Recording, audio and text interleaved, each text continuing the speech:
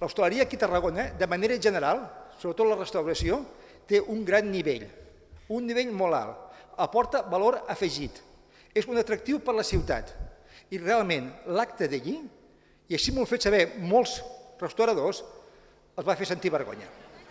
Així de contundent s'ha mostrat l'alcalde de Tarragona després de la protesta que es va viure aquest dimarts al vespre a la plaça de la Font per part d'una cinquantena de restauradors de la ciutat.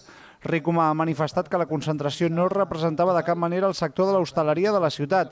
També ha lamentat que el manifest presentat no hagi estat signat i ha qualificat algunes de les reivindicacions, com la que demanava una condonació de tots els impostos durant dos anys, d'insolidàries amb la resta de la població de Tarragona.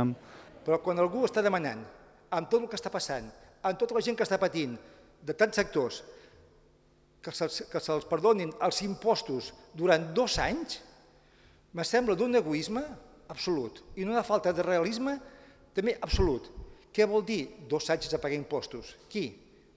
Les persones que havien allí, estaven allí al plaça de la Font? Ells només? Els comerciants? Els, els, els autònoms? La gent que ha perdut la feina? I què hem de fer? Tancar l'Ajuntament? No fer serveis de neteja? No tenir llars d'infants? Les coses s'han de tractar amb molta seriositat. Per tot això, l'alcalde de Tarragona ha demanat interlocutors vàlids per continuar implementant les mesures ja aprovades, tant en ajudes directes com en excepció d'impostos, ampliació de terrasses i implantació de noves en carrers peatonalitzats de l'efecte.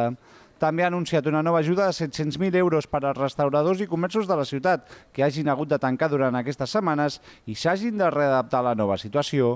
Per últim, ha fet una defensa aferrissada de la gestió de la regidora de domini públic Paula Vares, de la que els manifestants reclamaven la dimissió i ha qualificat d'assetjament públic i polític els atacs rebuts cap a la seva persona.